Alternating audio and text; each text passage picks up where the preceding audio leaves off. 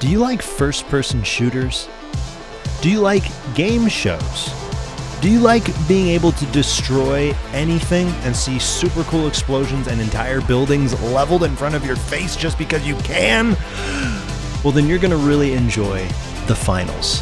The Finals is an upcoming free to play first person shooter that focuses heavily on destructibility and teamwork. In this video, I wanted to just go over some of the pros and the cons of the finals so that you know what you're getting yourself into when it finally releases sometime, hopefully late 2023. And keep in mind that any con that I mention here is going to be overshadowed by the fact that this is a free game, so you should just try it out anyway, because it sounds like it's going to be a ton of fun. So the first pro that I have is that this seems like it is being designed with esports in mind. This seems to be a game that is very team focused and the way that they handle the respawns in a limited capacity um, really punish you for playing solo and going way out of your way and playing off on your own. Getting a group of three guys to stick together and get the cash out box is how you win the finals. If somebody's going off on their own, they're going to have to spend valuable respawn tokens getting back in the game if they want to join your team again after a super long respawn timer.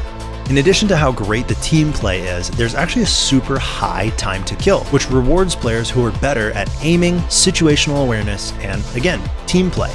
Very rarely are you going to see something happen where you are just transitioning from one place to another with a team and you get domed in the head and you're dead in one shot from an AK, like some of these other esport games that we see right now.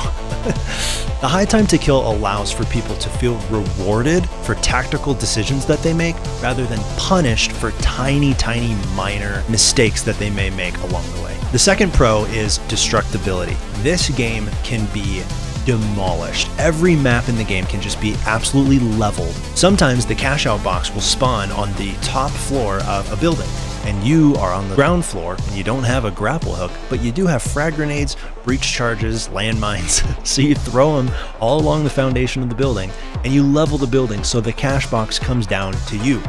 the freedom that these guys give you in this game to destroy anything and they, the way that they encourage you to destroy everything is so much fun. We haven't seen this level of destructibility since like Battlefield 4 and it's so refreshing to see this in like a mainline wannabe esport title. I really hope that other game developers look at this and add some more destructibility into their games. The funny thing here is that actually some of the people who are working on the finals are ex Battlefield developers. Now, briefly, just some cons. And again, this is in beta, so these could all be fixed by the time the game is released. But the major con that I'm seeing right now is people disconnecting from the game. When somebody disconnects from your team, you lose 33% of your winnability, essentially, in any given tournament.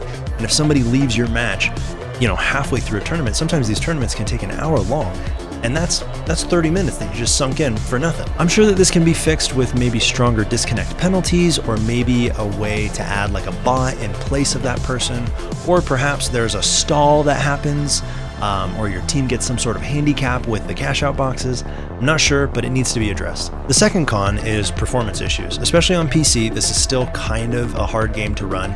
Um, I'm running it on a 3070 and it is chugging sometimes.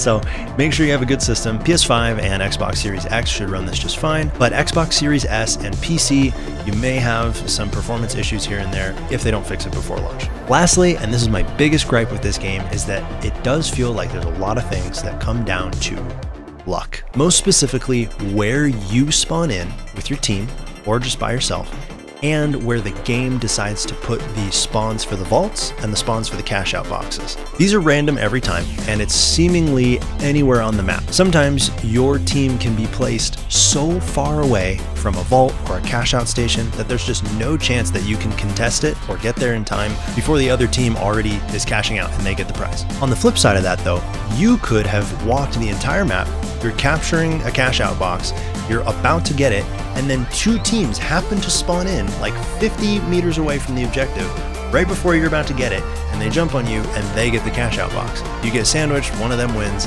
and somebody else gets the cash out box just because of their their spawn, their luck that they had spawning in.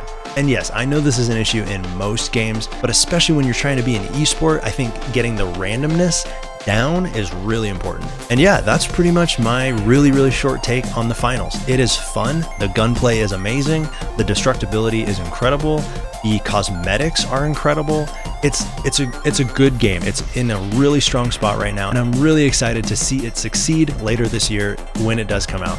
I think people are going to have a lot of fun with it. So there's my take. It is in open beta this weekend, so go and check it out and follow me on Twitch. I may be streaming it this weekend, and I would appreciate if you stop by. It'd be kind of cool. All right, thanks so much for watching, and enjoy the finals. Subscribe, all that fun stuff. Thanks for watching. Bye.